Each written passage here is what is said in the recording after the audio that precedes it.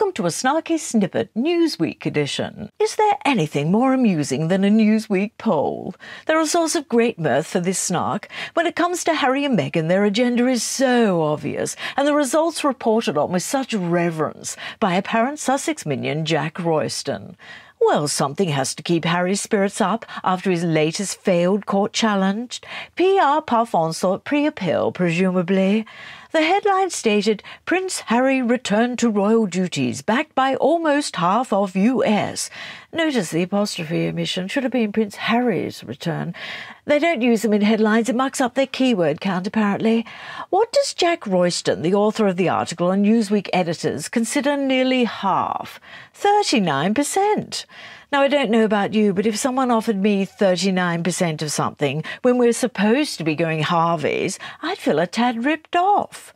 No maths degree then, Jack? So facts are 39% said yes, return for royal duties, 27% said no, and 34% said they didn't care. So that adds up to 100%. Well done, Jack. I presume the 39% were happy to toss him back to the UK, seeking that wonderful time when he was UK's permanent problem. For those that care, the sample was 1,500 adults and the data was collected on February 18 and 19th.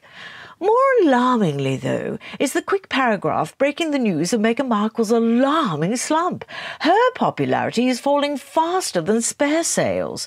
Jack reminds us what Harry and Meghan were initially seeking by quoting Harry verbatim. Meg and I living elsewhere part of the year, continuing in our work, retaining security. Why isn't that a surprise? Returning to Britain for charities, ceremonies, events. Harry then goes on to say with smug confidence the palace veteran said it was eminently doable. Let's translate this, shall we, from Harry speak to what he really wanted.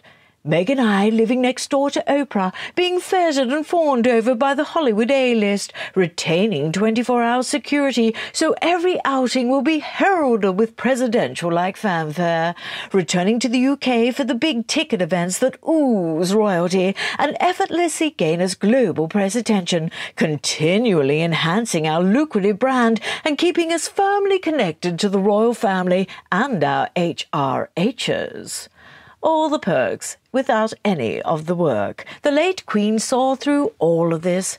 When it was warranted, our late Majesty even stripped her own son, Prince Andrew, of all his royal perks. The current King sees it too. They won't be wavering, and Prince William is there to correct any sentimental wobbles. Your brother could have been your best ally, H. What a pity you took the bald joke path and insulted his wife.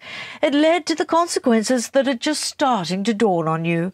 We will finish with a thought from Isaac Newton. Every action has an equal and opposite reaction. You seem to be living the third law of motion right now, Harry. So nice try, Has. Nice try, Jack. I did appreciate the giggle. Should I be the one to tell them, dear listeners? You can't publish these pompous poll results ad nauseum. They will never deliver the result you seek. To sum it up with a boring cliche or two, that ship has sailed. The fat lady has sung. Elvis has left the building. So maybe cease and desist and give us some much needed respite. Until then, we can but snark. Bye.